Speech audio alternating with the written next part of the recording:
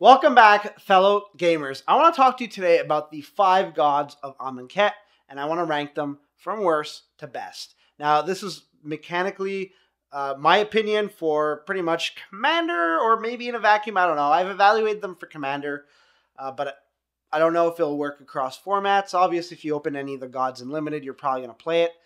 Uh, maybe not not the blue one. I, I think the blue one's trash number five is out of the bag. but I will say that I think that the gods were intentionally left as as pretty weak comparatively. I think story wise and flavor wise, because Bolas came in and you know infected the plane, changed the plane somehow, and and neutered these gods. What happened is is you know based on the story, spoilers if you haven't read the latest one is. Uh, the gods' memories were wiped. So if, if Bolas can wipe the memories, it can also probably tone down the power level. Not to mention that there's also three other gods that are, you know, MIA, whether they're dead or in a sarcophagus, who knows? But all this to say that I think that that could be one of the justifications as to why these gods do not stack up remotely close to the Theros gods. Like you look at the Theros gods, and I think each of them is, is strong within their own right. Uh, Heliod could have been a lot more powerful, but that's neither here nor there.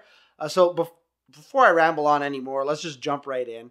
So with that said, number five, you already know it, the Blue God.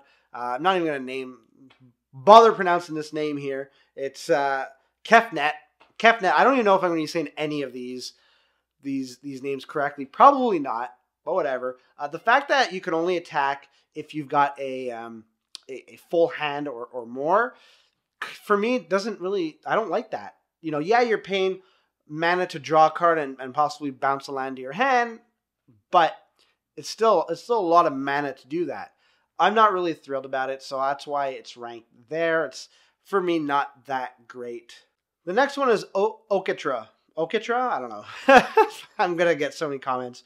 Again, this here is it's not particularly that great. You you're paying four to put out a one one, whereas with Heliod you're paying four to put out a two one.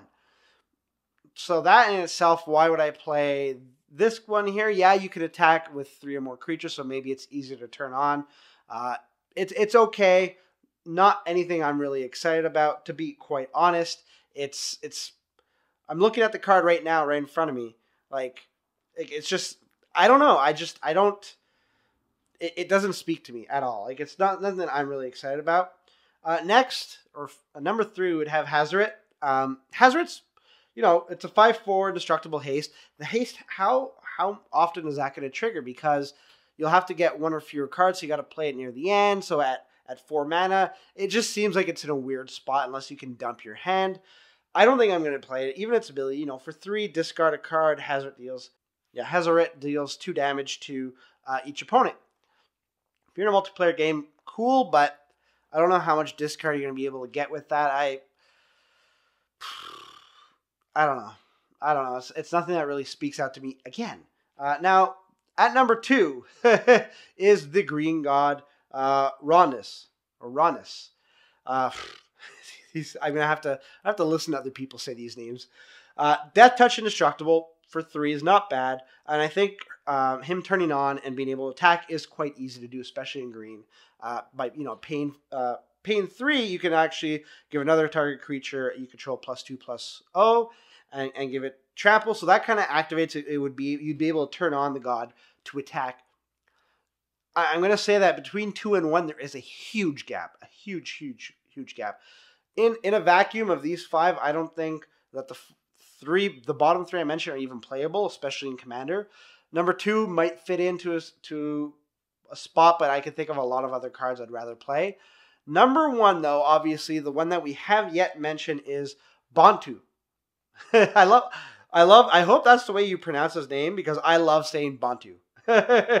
uh, for three, he's a 4 6, menace indestructible, uh, and he can't attack or block unless creature died in your control this turn. I think that's really easy, especially when you pay a black and a colorless to sacrifice another creature. You get to scry one. I'm a big fan of scrying. Anytime I can scry, and if I have a sack outlet that's built in to help me scry, but not only that, you're draining life uh, from each opponent, and then you gain a life. I just like the fact I love um, outlets for me to be able to sacrifice stuff. So this is another avenue which I'm going to insert. I'm definitely going to insert him. He's by far the strongest god out of the five. my favorite. I actually I was really happy when they spoiled Bontu. I'm gonna keep. I'm gonna probably keep him in a lot of my commander decks. I'm gonna insert him in almost every black deck that I that I run because I always need uh, sacrifice outlets, and and he's providing that, and then value. So you know what the scry. I, I love scrying, and then draining life. So you know having your opponents lose one life, and then you gaining life goes great into a lot of different decks as well. There you have it. That's my rundown of the five gods. I would love to know what your list is. Rank them from one to five in the comments below, or you know, just discuss my list. Tell me why I'm wrong. I would love to hear it. Uh, in the meantime, you can check out some of my other videos right over here. And if you'd like to subscribe, you can do that right there. It not only helps the channel but it lets you know when we upload new content. I'd like to thank you for making me a part of your day. And until next time, good gaming.